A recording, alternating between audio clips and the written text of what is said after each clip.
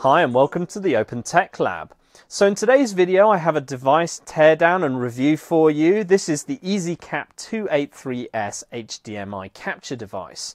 And on this channel I find myself very often needing to capture HDMI signals and encode them in video form so that I can show you things from various devices I'm demonstrating. So I've got a bit of an ongoing mission to find a decent HDMI capture device at a low cost.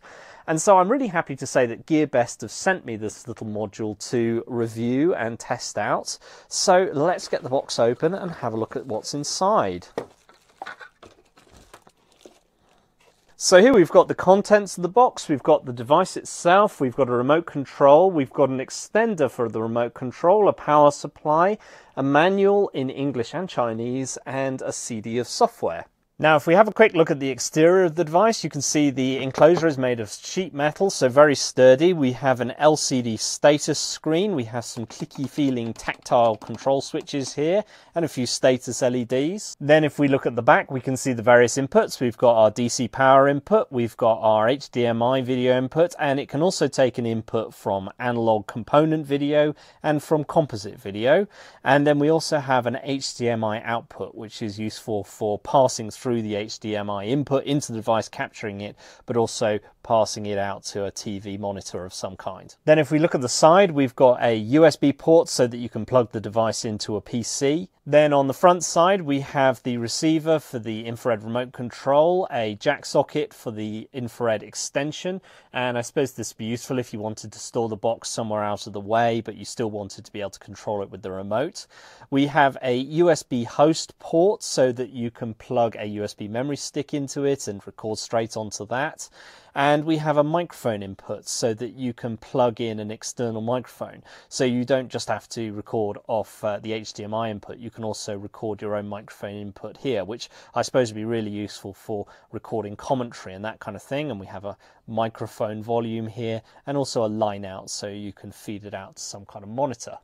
And if we power the device up, you can see it comes up pretty quickly and it comes up with the date and time, which is correct pretty much within a couple of minutes, except that I think it's set to the Shenzhen time zone. Now, when it comes to the user interface, there's hardly anything to this thing. We have a record button, a button for setting the resolution, a button for setting the input source, a button for taking snapshots, and the settings menu button.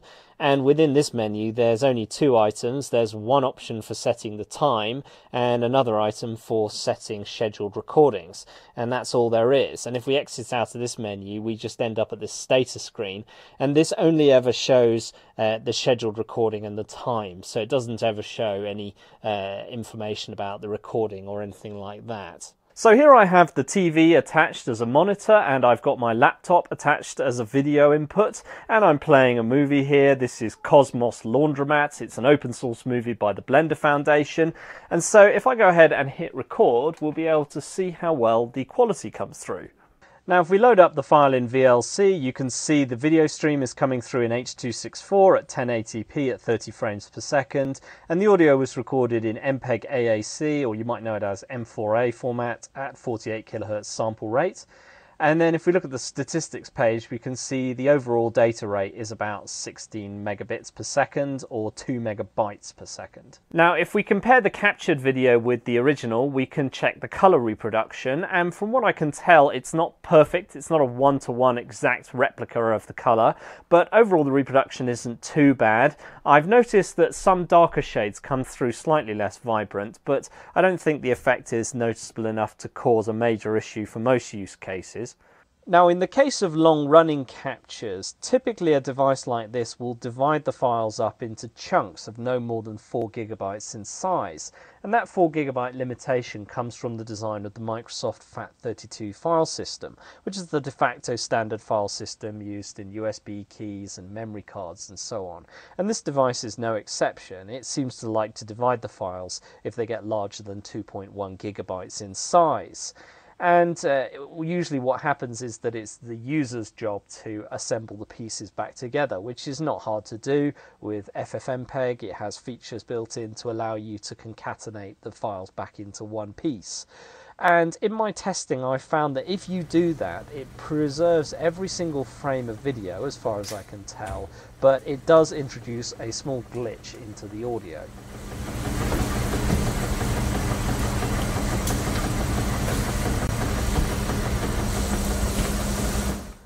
Okay, so now I want to test out the audio synchronization in the HDMI capture. And so to do that, I've created a test video where every single frame of the video is black, apart from one frame every second, which is white. And during that white frame, a sine wave is played that starts at the beginning of the frame and finishes at the end, and it's a 2000 hertz tone. Now you can see the uh, white frame of this video here in the timeline of Kdenlive, which is my favorite video editor, and you can see the audio represented by this little triangle. Now this lead up here, this ramp is actually misleading. There is no ramp, it just starts, the tone starts at the beginning of the frame and it ends at the end of the frame. So if we go ahead and compare this to the captured version of the video, we'll be able to see how well synchronized the HDMI audio is with the video in the input versus the output. And if we look at the comparison, you can see that it's moved the audio ahead of the original by about a frame, about 30 milliseconds or so, which is not particularly good, although it will be easy enough to move the audio ahead by a few milliseconds to get it back in sync again if you need to. Now I was curious if it could record HDCP encrypted content and so I plugged in my Google Chromecast here and it turns out if you try to do that it doesn't record properly. The audio comes through both in the recording and on the monitor but the video is just a black screen. Now I'm just testing the composite input to the device and I've got my old camera plugged into it and as you can see the quality is pretty poor but to be fair to it it's not as if I'm plugging in an HD analog input source so it's hard to tell what it would do with a quality input source but I don't really have one available and it's not very important to me anyway. Now it would be nice if the device had a slot for an SD card. I prefer to record to memory cards over USB sticks. But as it turns out, you can just plug in one of these USB SD card readers and it will record onto the SD card just fine. Now I just want to check how noisy the microphone input is, so I've connected it to a silent input source and I've set the input gain to maximum. So now with that recording of silence, we can load this up inside Audacity. And because there is no audio signal on this, what we're seeing here is just the self noise of the microphone input itself. And you can see it's really very good. The only issue here is this spur that's at uh, 32 hertz at minus 71 dB.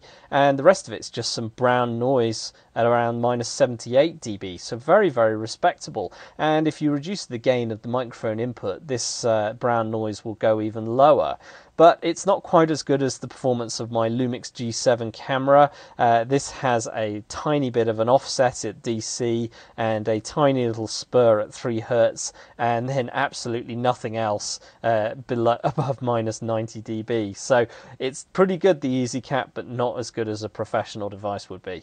Now, one criticism I have of the design of this thing is that there is no indication of the microphone input level. And of course, as I'm talking, I want the audio level to be sitting around minus 3 dB or so, something like that. And of course, if I have it connected up to the PC streaming through the USB connection, and I'll talk about that feature in a minute, if I'm doing that, I will be able to have some kind of audio level readout on the PC. But if I'm recording onto USB stick, there's no indication that the level's correct. And of course, if I want to do this, the only way to get the level correct is through a process of trial and error as I adjust this volume knob, which is going to be very, very annoying. And of course, because there are no markings on this knob, if I find the perfect sweet spot to have the level set to, how on earth am I ever going to get it back to the way it was? I suppose I'm going to have to put some kind of marking on the plastic wheel somehow, like put a little sticker on there or something like that. I don't know. So now let's try streaming to the PC. And to help do that, they provided a CD full of drivers. And if you don't have an optical drive available, everything's available to download from the website. And they've also provided a pamphlet of setup instructions and how to get you going streaming into OBS Open Broadcasting.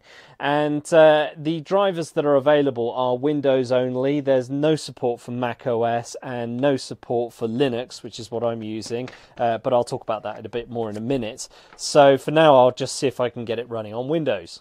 So here we have the stream coming through in OBS and it's all ready for me to send it off to Twitch or a YouTube live stream. Now if we put a clock up on the laptop screen, you can see we're getting a consistent latency of about 0.5 of a second, which is pretty good. Now when you install the software for Windows, it installs a Direct Show device driver, which is what runs the stream from the device into OBS. And I was curious about the features of this driver, and I was curious about what options were offered in terms of different types of video streaming that the device could do. So I put in a little bit of magic into FFmpeg, and uh, this command here will get it to list out the uh, uh, options that this direct show device offers. And it failed reading the options for the audio, but I'm not too bothered about that. I'm more interested in the video. And it claims that it can stream anything from a 160 by 120 frame uh, at 0.1 FPS, I, I can't really see the point in that, all the way up to a 480p frame at 30 FPS.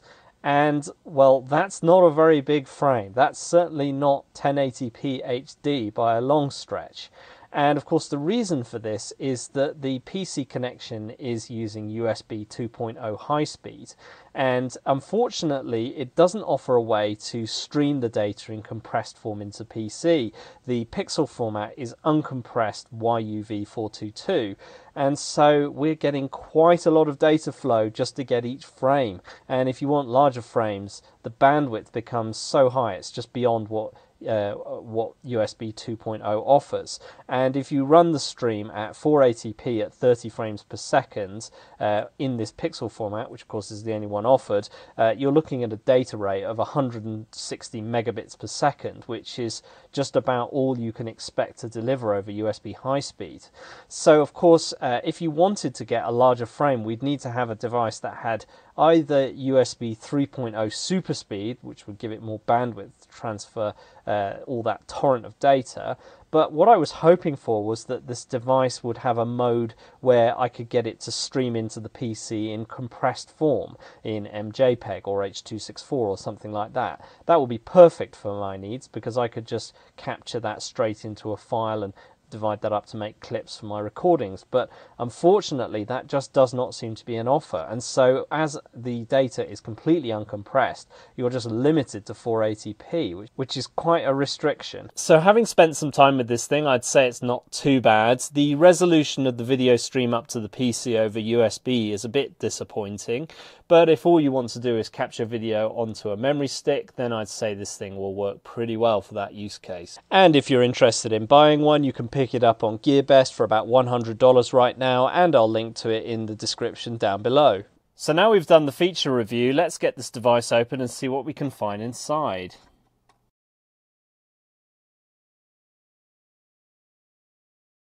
So if we start off by looking at the top side of the main board, you can see there's a variety of chips and devices dotted around this thing, but of course the big giveaway for the core of this device is this heatsink, and whatever's underneath this thing must be doing all the work because it's producing all the heat. Now, if we have a look under the side of this heatsink, you can see the pins of this TQFP144 chip poking out with the heatsink glued on the back of it with heatsink adhesive.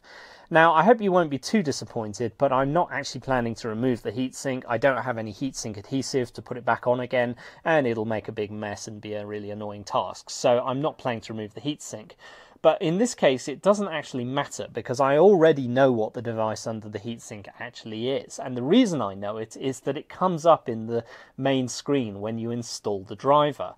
And the device under here is an IT9910 chip produced by ITE. Now, ITE are a fabulous chip manufacturer based in Taiwan, and if we have a look at their website, there's lots of information about their business and their various products. But for some strange reason that I don't understand, there is absolutely no information whatever, no mention at all of the ITE 9910s, which is really weird because everything else that they have on their website is mentioned in quite some detail. There's plenty of marketing material, basic overviews of what these chips do, and of course, if you want to get deeper into the technical information, you'll typically need to uh, contact them and maybe sign NDAs and such like. But I would expect some very basic information about the ITE 9910s, and it's as if they don't make them. It's as if it never existed. Now, as I mentioned, there is no open source driver for Linux, and I've been pondering whether it would be worth my time to go ahead and write one. And so, with that in mind, I reached out to ITE to find out if they would be willing to send me any more technical information about it. And so, I sent them an email, and within a couple of days, their support people replied back to me with a few interesting things. Uh, they sent me this zip file uh, labeled Linux driver. It doesn't actually do anything much other than connect to the device and debug a few things. There's this package which is a bit bigger and it contains more stuff and it's basically a test application that runs on Mac OS and I think there might be some more interesting things to learn from the source code of this thing. And then here they've sent me the spec sheet for the device. And of course, I would expect this to be listed in public on their website, but actually, uh, the version they've sent me here is uh, provided with a watermark for that says confidential for Joel Holdsworth, which means that I've been given this document, but I can't share what's in it with you. And uh, it's unfortunate, really, because there really isn't anything particularly amazing within. It's it's it's just a basic product sheet, a basic data sheet with simple information about the device. And all I can say is what we already know about it from looking in the EZCAP is that it's a, it's a system on chip and it has various blocks for capturing HDMI and encoding it in H.264, and it can talk USB, and it's got a, a, couple of processor cores built into it. And so it's pretty much perfect for the job of uh, this HDMI capture device. But I'm still baffled as to why they don't put this information in public. Now, they did say to me that if I wanted more information, then I would need to go ahead and sign an NDA.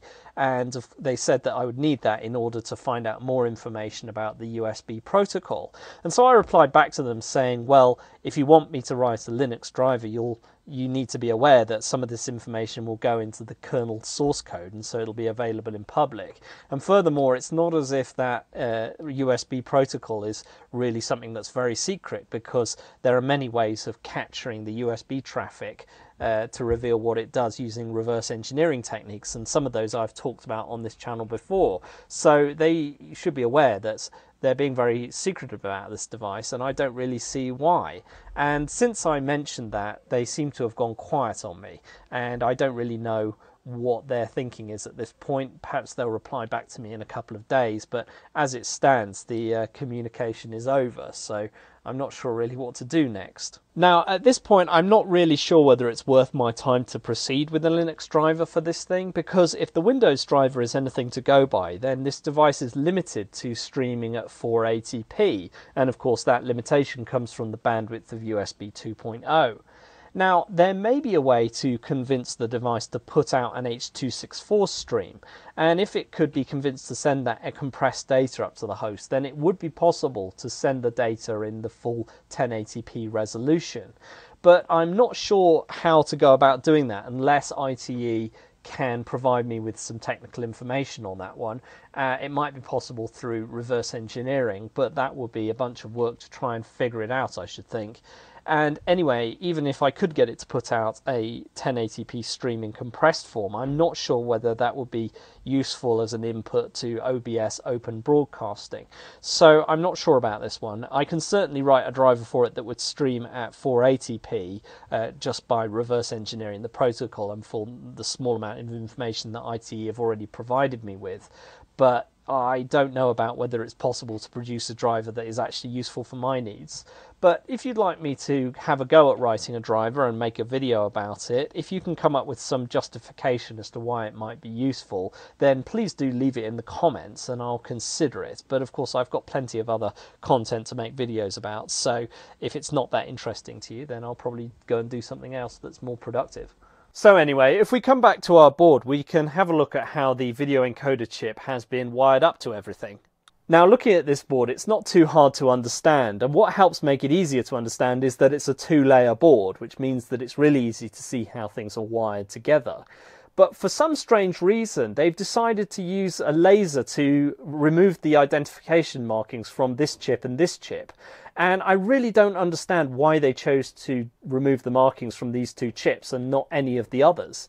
And as it happens, one of them has a quite obvious function because it's connected to the input HDMI connector and the data channels uh, are connected into it, and then uh, from this chip, it's connected into the HDMI input connections of the HDMI video encoder chip, the ITE 9910. So I really don't understand why they would need to remove the markings on this thing because it seems to me that this is probably just some kind of uh, HDMI receiver buffer chip, something like that, that's just cleaning up the analog signal coming off the wire. So why would they remove the markings? I have no idea. So when we're capturing from the HDMI input, the input signal comes in through this connector, is fed into this unmarked chip here, and then is fed into the HDMI input of our IT9910 system on chip. And then, as it turns out, the system on chip has two video ports, one HDMI input and one bidirectional video port, as in it can work as both an input and an output. And in this case, it's working as an output and it's feeding the video signal, the pixel data, onto this parallel bus here. And this parallel bus is wired up to this chip over here, this is an HDMI transmitter by ITE, another chip by ITE. This is the IT6613E. And in the case of this chip, there's plenty of information listed on the ITE website, including a data sheet which contains anything you could really want to know about it. It's really good, and I've provided a link to it as well as every other data sheet I could find in the show notes if you're interested in finding out more. Anyway, the job of this chip is to encode the pixel data coming out of the ITE uh, 9910 and encode it back into HDMI uh, signaling so that it can be sent out of the HDMI output and you can attach it to your monitor. Now, when we're capturing from one of the analog inputs, the 9910 is put into a receive mode. So instead of driving pixels onto the bus, it receives pixels from the bus. Now, the HDMI transmitter chip still listens on the bus for those pixels and transmits them out of the HDMI connector, which is how you can see the analog signal through your monitor. But in this case, instead of the 9910 driving it, it's one of these two chips here and here. And this one here takes the input from the composite input. This is an ADV7180B by Analog Devices, and this captures the composite signal and demodulates it into pixel data. And similarly, this chip here is a CAT9883CCQ by Chip Advanced Technology, and this contains fast ADCs for capturing the component inputs and demodulating that into pixels. So depending on which input mode we've got selected, it will either be the 9910 driving this bus or the uh, composite input chip or the component input chip, one or the other, and uh, whichever one it is will be uh, received by the HDMI transmitter so the monitor can see what the video is. Now, supporting the 9910 are these two crystals. It seems to require two oscillator inputs and this little SPI flash, 32 megabits, and this would contain the firmware.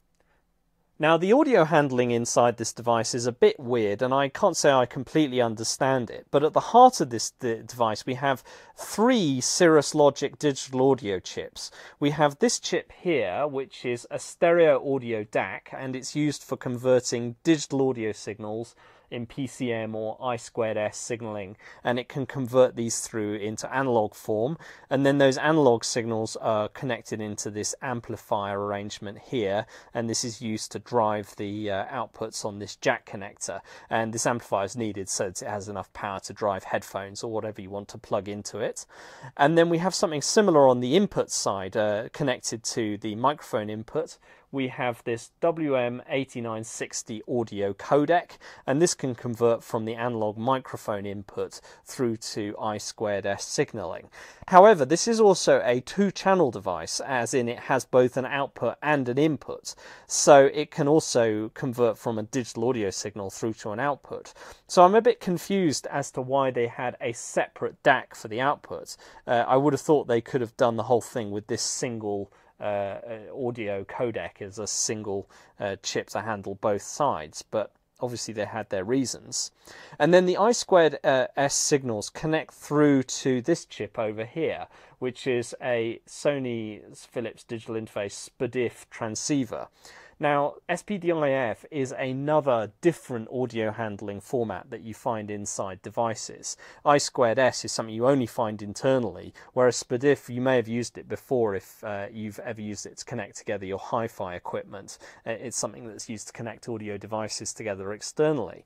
So this whole thing is a bit weird. Uh, it seems to be using both I2S and SPDIF, and I'm not sure what the native format that the uh, SOC is using, and I'm not exactly sure how it's all connected together. Now I've just been having a careful look round and it looks as if the I2S signals also go through to this little device. This is a 74HC125 tri-state quad buffer. It's a common off-the-shelf part and a device like this is useful if you want to have multiple transmitters sharing one bus, taking it in turns, so you can turn the output on this chip on and off. So perhaps there is more I2S than I initially thought and perhaps there are multiple chips that need to be able able to uh, take it in turns to transmit I squared S. I don't know. I'm not exactly sure, but uh, interesting design. Then if we have a look near the display board, we've got LEDs and transistors to drive these LEDs. We've got our infrared receiver here for the remote control. Uh, we've got a real-time clock chip, a Pericom PT7C4337, which is an I2C real-time clock. And we've also got a little battery to keep the clock going even when the power's off. And uh, then here, interestingly, we've got this uh, 74HC4052, which is a four channel analog muxer. And I'm really not sure what this is doing. Then if we have a look at the display board, there isn't much to see here apart from this little chip in the middle. This is an IAP 15W413. This is uh, a little microcontroller. It's Chinese made. I, I couldn't really find any information about it, but appears to be, from what I can tell, a tiny little 8051 microcontroller. And the job of this device is to read in the button presses and to communicate those back to the main board and also show the uh, messages on the LCD screen. Now, I'm just probing around the display board connection, pushing buttons, and I found that there's a certain wire that when you push a button, it gets these signals driven onto it, as you can see on the scope here. And I had a look further, and it turns out that this wire is also wired to the infrared receiver, and it's also wired through to the system on chip here. So I think the way this works is that they've got one universal way of controlling the system on chip, and that protocol is the protocol used by the infrared remote. And so basically the display board here is just acting like a glorified infrared remote when you when you push buttons and send commands. And uh, also, when you do the scheduled recording, the uh, the real time clock chip is just down in here, and so it knows the time of day by uh, reading from the clock chip over this cable as well. And uh, then, when the time of day for the scheduled recording occurs, then it just sends the infrared remote control commands through the system on chip. So, really, the display board is just a glorified remote control. And it also explains why the display doesn't really know anything about the system status uh, and it doesn't really have any settings in its menu. And it's simply because it just doesn't have any lines of communication uh, where it can find out anything about the system state by talking to the system on chip. Now, you know I can't help myself when it comes to showing off sigrok in these videos, and this one's going to be no exception at all. So I'm looking once again at that quad tri-state buffer, the one that's on the reverse side of the board that has the digital I2S audio signals coming into it. And for this example, I've attached a Saleae clone logic analyzer to it on the right here, and I've got my phone playing some audio. This is the BBC shipping forecast feeding into the input. And what we're going to do is capture some I2S signals and have a look at how they work, and then we'll see if we can decode them. So here I am inside sigrok PulseView, and as you can see, I've captured some I2S signaling for us to have a look at. Now, I2S is a three-wire interface, and so I've enabled three channels on the logic analyzer, and I've set it to capture 10,000 samples at 12 megasamples per second. So if I zoom in on the capture, we can have a look at what we've actually got here.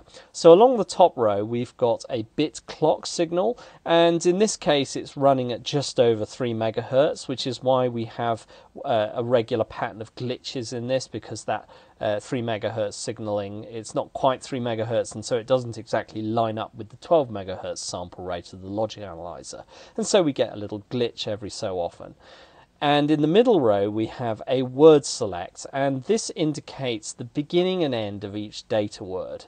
And it also indicates whether that data word is for the left audio channel or the right audio channel, depending on whether it's high or low. And at the beginning of each of these pulses, uh, the rising or the falling edge, right after that, we have the most significant bit transmitted on the data wire at the bottom. And then right at the end of these pulses, we have the least significant bit. So in the case of this word here, we have a run of zeros and then a few ones and then a few zeros at the end. So in this system, each single word, each single audio sample is 32 bits in length. So as you can see, I squared S is really very simple. Now to help us understand the meaning of these sample words, we can use sigrok's I squared S decoding feature. So I'll just go ahead and add the I squared S decoder. And as usual, I've set the names of the various channels and so it decodes them automatically. And we can see all the values of the sample words being decoded here. But to really show off what this decoder can do, we need a much longer capture. And so here I've set the logic analyzer to capture 500 million samples, which will give us 41 seconds of captured signaling. Now, unfortunately, I can't demonstrate this feature to you inside the sigrok PulseView graphical user interface because it hasn't been implemented there yet. So I've saved off the captured data into a file so that we can run it through sigrok CLI. So let's go ahead and do that. So I've got sigrok CLI CLI and I'm going to take the input from the captured file that I just made and I'm going to use the I2S protocol decoder. Now typically you'd have to follow up by specifying which inputs uh, come from which channels. But because those channels in this file have already been given the names that match the inputs to the I2S decoder I don't actually need to specify those. I can just do this. And if we go ahead and run that you can see we get a whole spew of hexadecimal sample data coming out but what I'd really like to show off is this feature. So if I specify the dash B flag, this allows us to have a binary output. And I'm going to say I2S equals WAV, which will generate a Microsoft PCM WAV file. So let's go ahead and uh, pipe that into audio.wav. And uh, this will take a little while to run. Uh, uh, libsigrok decode is not the fastest thing in the world. I have been working on one or two patches to improve its speed, but uh, it's still pretty slow running because it has to jump in and out of Python quite a lot. So I'm going to come back in a few minutes and we'll see what we've captured. So a few minutes have passed and here I am now in Audacity and I've loaded up the resultant file and as you can see we've got the captured wave data that we read off the wire with the logic analyzer and you can see it's come through in perfect digital fidelity and all we have to do now is try playing it. North Foreland to Selsey Bill. Southerly becoming cyclonic later 4 or 5, increasing 6. Occasional squally rain later, moderate or good. Well, that's about it for this video. I hope you found it interesting. Do leave your comments down below. I'm interested to see what you think. And I want to give a big thank you to all my Patreons who are supporting the channel. I really appreciate it. And I also want to thank GearBest for sending us this device to review. So thank you very much for watching and hopefully I'll see you next time on the Open Tech Lab.